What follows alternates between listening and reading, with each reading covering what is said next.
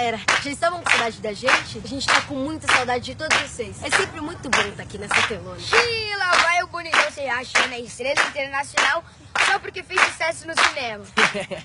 Bom, galera, a gente tá aqui pra contar uma notícia incrível. Se preparem, porque vem aí o grande, o imenso, o esperado Carrossel 2! É isso aí, galera. Agora aventura aqui na cidade, com muito mais emoção, diversão, brincadeirinhas iradas, alguns namorinhos também, né, tudo mais.